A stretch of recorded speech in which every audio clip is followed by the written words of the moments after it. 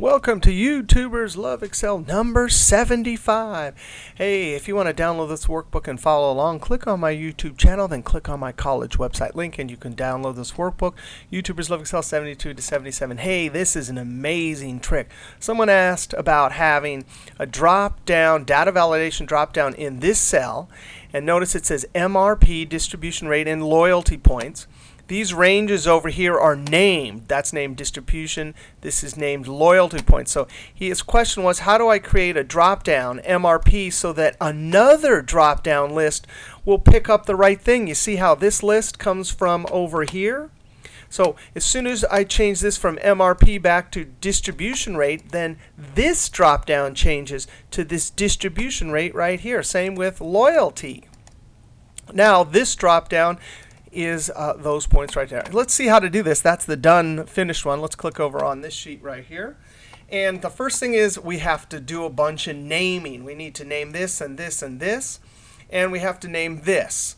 So watch this. Here's a great trick. Here's our data, and our field names are at the top. And this trick will always work. You have your data in columns and your field names at the top. And we want to name this column MRPO2 and this column DR, which is distribution rate.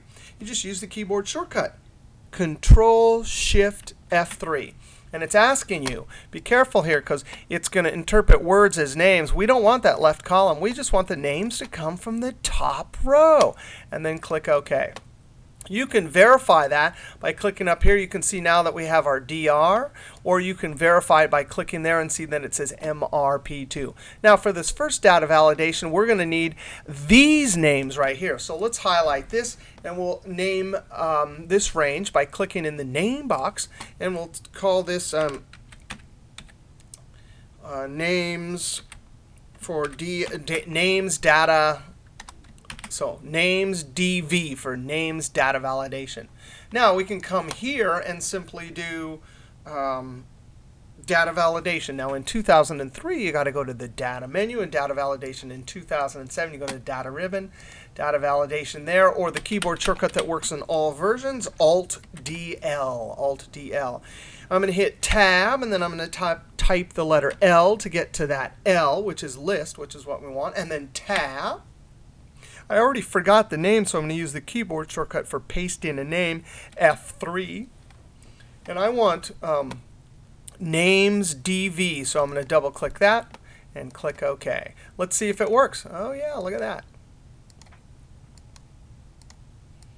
You notice I have uh, these labels up here are changing depending on what I want to put here. That's concatenation. I've done some videos on that, but you can certainly download and look at that formula right there. Now let's do this. Now the trick is going to be, oh yeah, data validation. Let's just try it. Alt DL, uh, tab, and then L to get to the list, and then tab. Let's just click on this cell right here. It should just pick it up. There's LP. That's a named range. Click OK.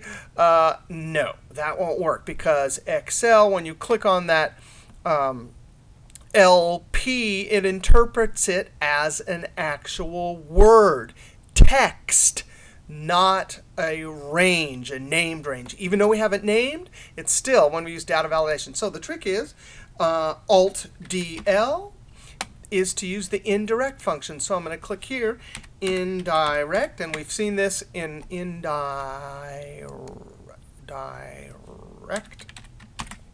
And we've seen this in a few other videos. The indirect will take text and convert it to a range. So this is the perfect solution here. Click OK. Now look at that.